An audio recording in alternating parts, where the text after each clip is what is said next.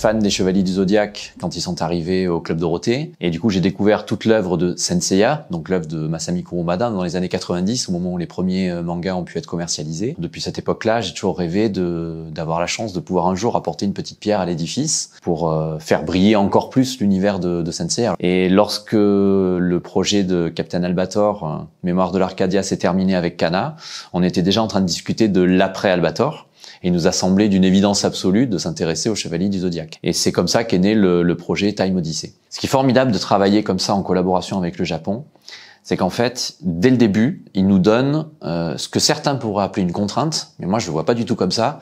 C'est un cadre au-delà duquel on n'a pas le droit d'aller.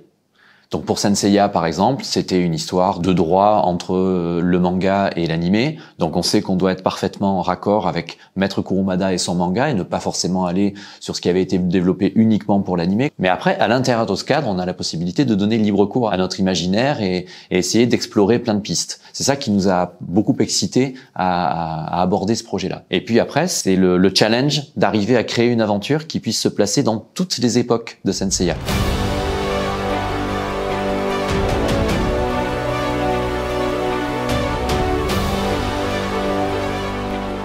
Les armures que nous on développe sont vraiment les armures du manga. D'ailleurs, il y a eu tout un travail de pré-production pendant la réalisation du tome 1 qui était d'arriver à trouver le bon design des armures. Donc on a eu une phase un petit peu de travail d'équilibriste pour arriver à trouver le bon écart entre ce qui nous séparait de l'animé et nous rapprocher de la fidélité de Maître Kurumada. Dans le travail qu'on a réalisé graphiquement, il est clair que on, garde bien en tête la qualité graphique que pouvait avoir le dessin animé, mais en même temps, euh, j'essaie d'injecter à l'intérieur énormément de choses qui sont issues de des développements personnels que j'ai pu faire sur d'autres projets qui n'ont absolument rien à voir avec l'animation japonaise. J'ai fait beaucoup de BD avant et tout ce que j'ai pu développer qui, qui pourrait être considéré comme mon style aujourd'hui, j'essaie de le réinjecter avec un style graphique de base peut-être connu pour essayer de personnaliser le, le résultat final.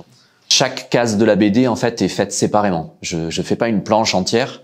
Je fais vraiment chaque case séparément et presque comme la technique d'un dessin animé. C'est-à-dire, je fais les personnages à part, je fais les décors à part. Tout est fait au crayonné, crayonné mine bleue. Ensuite, je repasse à l'encre avec euh, des feutres noirs ou, ou même de l'encre de Chine. Cette version-là, mine bleue plus noire, sont scannés et sont colorisés après euh, informatiquement parce que ça permet d'avoir euh, déjà une, une, vitesse de colorisation beaucoup plus importante que si je le faisais de manière traditionnelle.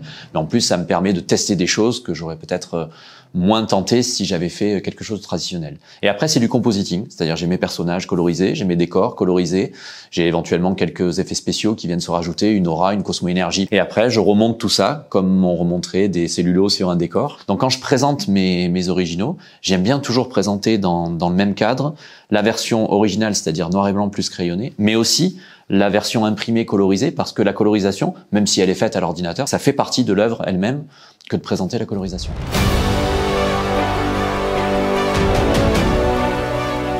Notre projet, il est vraiment basé sur de la BD franco-belge, parce que c'est notre valeur ajoutée par rapport à du manga. Je ne sais pas ce que j'apporterai en faisant un manga aux japonais qui savent le faire trois fois mieux que moi. La grosse différence entre le franco-belge et le manga, c'est le nombre de pages et surtout le nombre de cases par page. Donc en effet, il y a une réorganisation des cases, une réorganisation du séquençage, notamment des attaques, qui fait qu'on a un petit peu moins de cliffhanger que ce qu'il peut y avoir dans le manga où tu tournes beaucoup plus souvent la page.